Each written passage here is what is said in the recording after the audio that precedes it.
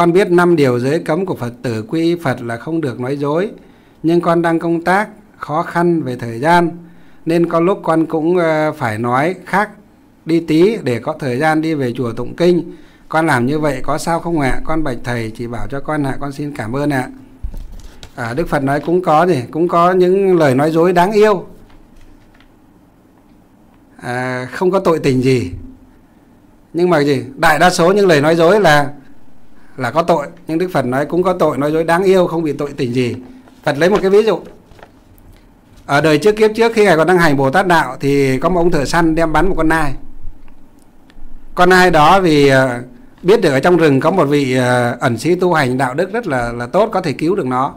Và con nai khi bị trúng tên thì chạy đến chỗ vị đạo sĩ để uh, cầu cứu nằm quỳ phù phục dưới uh, Ờ, gần trước mắt vị đạo sĩ, vị đạo sĩ kia liền thì từ từ đi ra nổ cái mũi tên và lấy lá thuốc đắp vào cho con nai và bảo con nai chạy về phía đông. Vừa được một lát thì ông thợ săn hớt hải chạy đến và hỏi ông đạo sĩ rằng á, ông có thấy con nai của tôi gì? Chạy qua đây không? Cái vị đạo sĩ kia cứ giả vờ như là không nghe thấy, để cho vị đạo sĩ hỏi qua hỏi lại nhiều lần mới bảo là gì? À à hình như tôi thấy có thì phải. Vị đạo sĩ, vị thợ săn cái hỏi vị đạo sĩ là gì? Vậy ông thấy con nai tôi ờ, nó chạy đi hướng nào? Thế vị đạo sĩ lại giả vờ là gì? Thế con nai của ông nó có màu gì? Màu trắng hay màu xanh màu vàng hay màu đỏ? Thì tôi mới biết chứ bây giờ trong rừng này có rất nhiều con nai. Thế bảo là con nai của tôi là gì? Là có màu vàng vàng lông vàng vàng. Có cái sừng như thế như thế thừng dài như thế. À, là thế có màu vàng thế là ông đạo sĩ lại hỏi là thế con nai của ông có sừng không? Thế vì đạo à, vì vì vì uh, uh, thợ săn kia bảo là con nai của tôi có sừng. Vì kia lại tìm cách để sừng nó gì sừng dài hay sừng ngắn. Vì kia bảo sừng dài. Thì cái vị đạo sĩ là hỏi con nai là một sừng hay là hai sừng? Bảo con nai của tôi là hai sừng.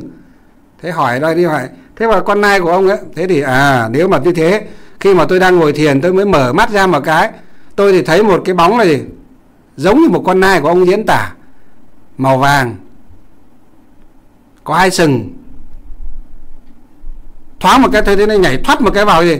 Vào cái rừng phía bên qua cái đường nhảy thoát một cái về nó nó chạy vào phía rừng phía tây. Và cái vị vị uh, đi săn thợ săn kia là nghĩ là con nai đó là con nai của mình rồi cho nên cứ thế đuổi theo gì? Sang phía tây. Đuổi hoài chả thấy đâu. Kết cục là gì? Kết quả là gì? Con nai chạy về hướng đông. Do lời nói dối đáng yêu của ông đạo sĩ cho nên cho nên cứu được cả con nai và cứu được cả gì? Ông thợ săn kia khỏi phạm vào tội sát sinh vậy. Đó gọi là lời gì? Lời nói dối đáng yêu ở trong trong nhà Phật, Đức Phật dẫn dẫn chứng ở trong kinh điển vậy. Chúng tôi nói là đấy là lời nói dối đáng yêu. Đấy, còn đây Phật tử chúng ta xem. Nói là gì? Thỉnh thoảng có thời gian đi công tác thì nói nhiều khó khăn về thời gian, cho nên cũng đôi khi phải nói lấy nhiều lý do này khác để đi vào chùa có thể tụng kinh hỏi làm nói như vậy có nói dối không? Tùy theo trường hợp nhé. Nếu hôm đó mà gì? Lãnh đạo mà phân cho chúng ta là phải làm xong cái việc này để nộp báo cáo trong gì? Trong ngay buổi chiều nay. Mà chúng ta gì chúng ta lại đúng ra chúng ta cố thêm một chút nữa làm cho xong. Hôm nay không vào tụng kinh gì thôi. Ngày mai đi tụng được, còn ngày kia tụng được. Hôm nay là buổi quan trọng của thủ trưởng, của sếp, của công ty hay là của của cơ quan. Chúng ta cố cho đến khoảng 5 giờ thì thì xong thôi. Nhưng mà chúng ta làm đến 3 rưỡi 4 giờ, chúng ta trốn bất khoảng 3 phút.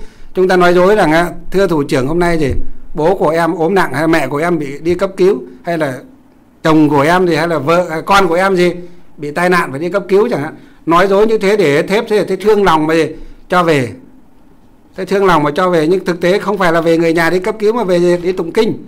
Và để kết quả thì công việc không thành và xếp giao cho một người khác. Một người khác làm tiếp vào đó thì họ làm không biết, không làm được, cho nên gì? Kết quả là đến chiều tối không xong không nộp được đúng giờ.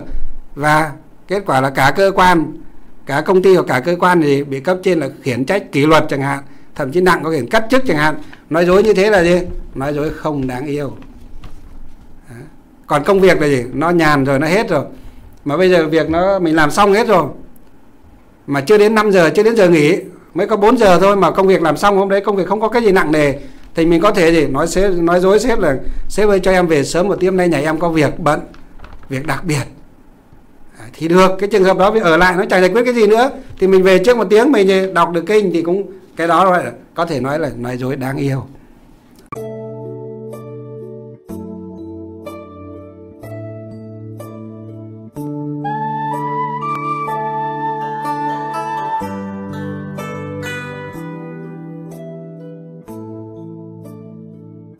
Nguyện tất cả chúng sinh đều tín niệm di đà đồng cầu sinh về nước cực lạc.